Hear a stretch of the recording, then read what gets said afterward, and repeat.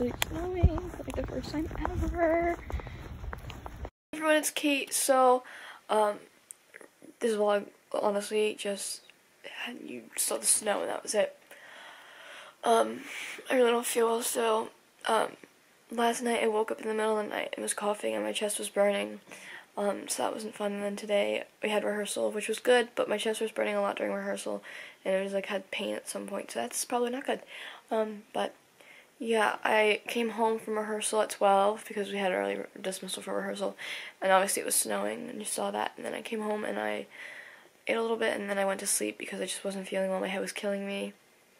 And I woke up and watched an episode of Manifest that we want we needed to watch the last episode that aired, and then I watched Love Island: The Unseen Bits, and it was really funny. Um, but yeah, I really don't feel well. Um, my nose is stuffy, and that's not fun. Um, yeah, today's rehearsal was good. We did we ran through all the dances and like cleaned them up and stuff. I just don't feel so I don't know what I'm gonna do. But that's it. Um, so I will see you guys tomorrow. Uh, I hope you did because I had a tomorrow. Bye. I'm Kate.